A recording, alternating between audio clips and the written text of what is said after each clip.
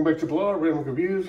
We got some Arby's. This is the three for five deal. So for five dollars and thirty-five cents, you get some sliders.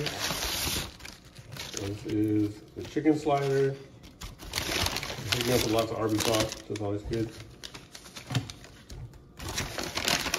You get the roast beef slider. Roast beef slider.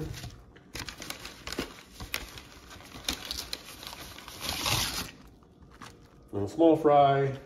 We get any bag fries? Or one bag fry. All right, let's see how they look. Very small.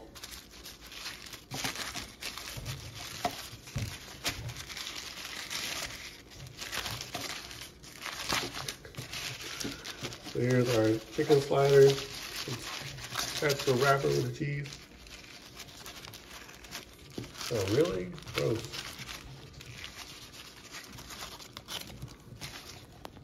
All right, so the chicken slider is pretty much, chicken slider is pretty much attached to, to the wrapper there. It's an okay size.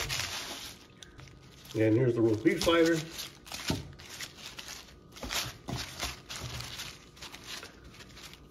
Very little.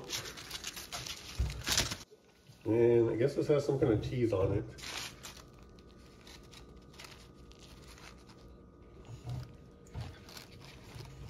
I didn't ask for any cheese, but I guess that's how the slider comes.